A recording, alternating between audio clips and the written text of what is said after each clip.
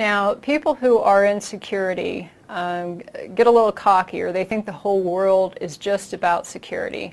I fall into it sometimes myself. Um, I see other people, my peers that fall into it. But you need to remember that business people and, and they just have their own jobs. They, you know, security isn't their life. And so you have to understand that somebody else, you know, like a business person already has a 60-hour a week job. They don't even know about security. They don't think, they don't even want to know. So sometimes uh, security people get a little full of themselves and they know so much about what somebody should and shouldn't be doing.